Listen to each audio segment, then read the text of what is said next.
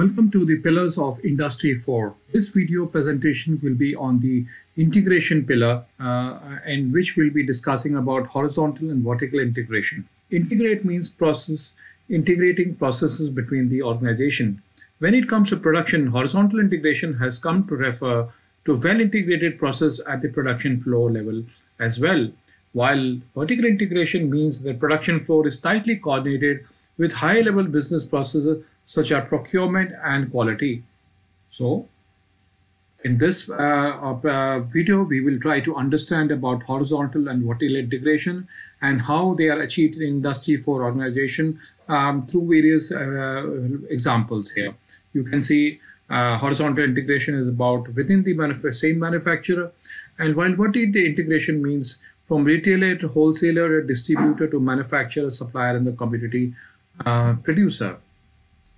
So what is horizontal and a vertical integration? When it comes to production, has come to refer to well-integrated process at the production floor as well.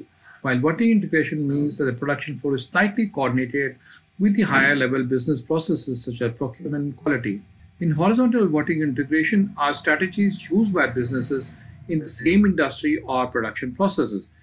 In horizontal integration, a company takes over another that operates at the same level of the value chain in the industry.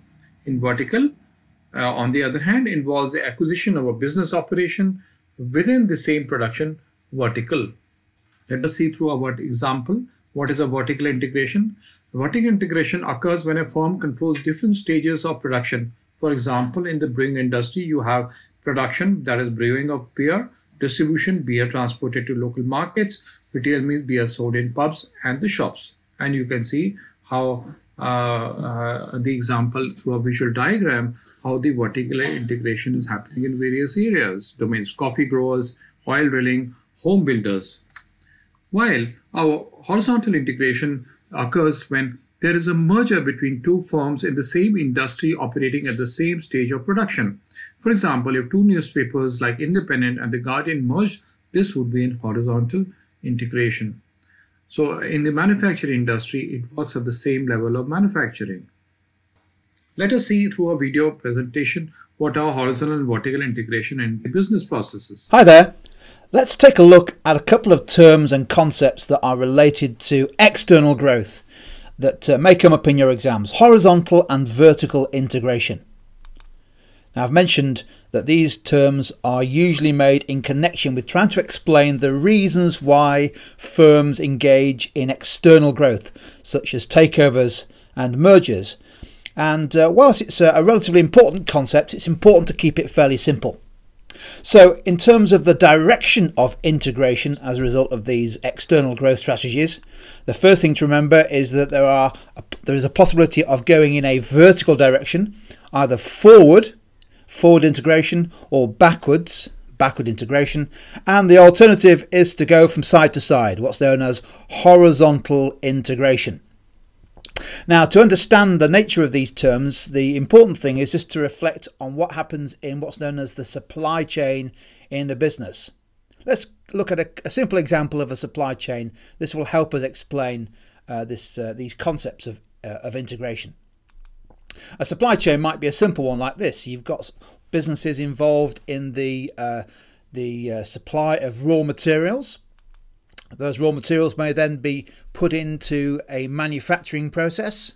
The output from a manufacturing process might then go to distributors, and those distributors in turn uh, are likely to pass the finished goods onto retailers and, of course, then onto final consumers like you and I. That is an example of the supply chain working from left to right, from raw materials to manufacturing onto the distributor and finally onto the retailers. And in terms of integration, uh, a business may decide to try to move up the supply chain or forward. Of course, it could also move down the supply chain or backwards. So, in terms of takeovers, these terms, let's just quickly define what they mean and then give you a couple of examples to, uh, to illustrate them. In terms of forward integration, what we're looking at there is moving up, moving forward through the supply chain. For example, a manufacturer deciding to buy a distributor of its products. We've seen that in a supply chain you can go backwards. So, backwards integration, vertical integration, involves a business moving earlier in the supply chain. For example, a retailer buying a wholesaler, or a manufacturing business buying a supplier of raw materials. And we've mentioned that you can also go from side to side. A horizontal integration strategy involves buying a business that is operating at the same stage of the supply chain. For example, a manufacturer buying a, another manufacturer, a retailer buying a retailer. There is one fourth direction of integration which we're not going to cover in this uh, video. We'll do a separate video on diversification where the takeover or the merger has no connection with the business and the supply chain. It's in an entirely different industry. It's called diversification or conglomerate integration. And I say we'll deal with that one in a separate video. Well, hopefully that's helped uh, set the scene in terms of these different types of uh, term. Let's have a look at a, a, couple of examples just to help illustrate them. Forward integration. Here's a here's a takeover that took place in 2016, and it involved a business called the Booker Group. The Booker Group is one of the UK's largest wholesalers. Uh, runs uh, a bit like Costco, well, very much like Costco, runs large wholesale operations which uh, serve uh, individuals but mainly small retailers. And what the Booker Group did was it agreed a takeover of a very large chain of convenience stores, a retail business called Londis and Budgens, over 2,000 stores there. That was an example of a distributor acquiring a retailer, in other words, moving up or forward up the supply chain, forward integration. Here's an example of backwards integration. The business on the right you'll certainly be familiar with, IKEA, one of the world's largest uh, iconic uh, global retailer of furniture and household goods. And what IKEA did in 2016 was to make a significant purchase of forests and their associated equipment, uh, the wood, the wood cutters and collectors in Romania and Bulgaria. And what it was doing, it was um, it's uh, wanting to ensure that its manufacturing business had access to raw materials, so it was moving back into the supply chain. An example of backwards integration. And finally, here's an example of horizontal integration. There are lots of these. You'll often see retailers buying other retailers.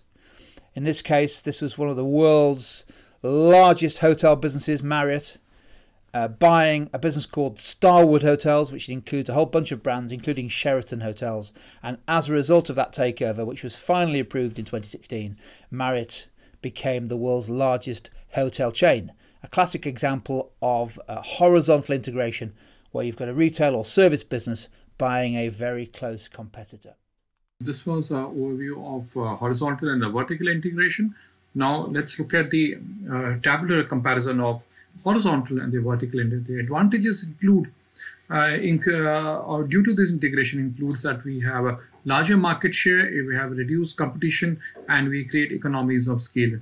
Some of the disadvantages are uh, regulatory scrutiny, less flexibility, and the potential to destroy value rather than create at times. And this tabular format also tells you the differences between a horizontal and a vertical integration. Uh, this visual diagram also explains how the vertical integration is happening uh, from the uh, from the lowest level to the highest level and how the horizontal integration is happening from the uh, uh, left to right in the integration of the processes. So uh, we find that horizontal, uh, the integration of the processes or the organization, the uh, how the companies, industries work is very, very important for the growth and how they uh, they uh, they upgrade their processes and the processes and the industry part of it. Thank you for watching this video. Hope you uh, liked watching Industry 4 videos here.